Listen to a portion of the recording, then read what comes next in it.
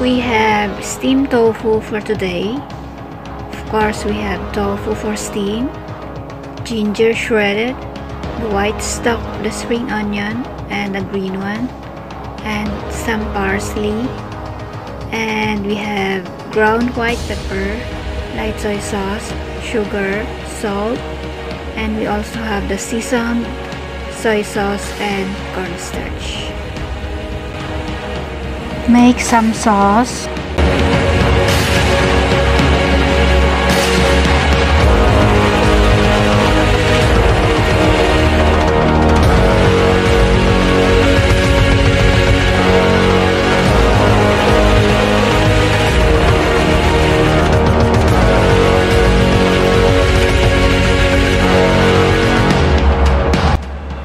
sprinkle a little bit salt on the tofu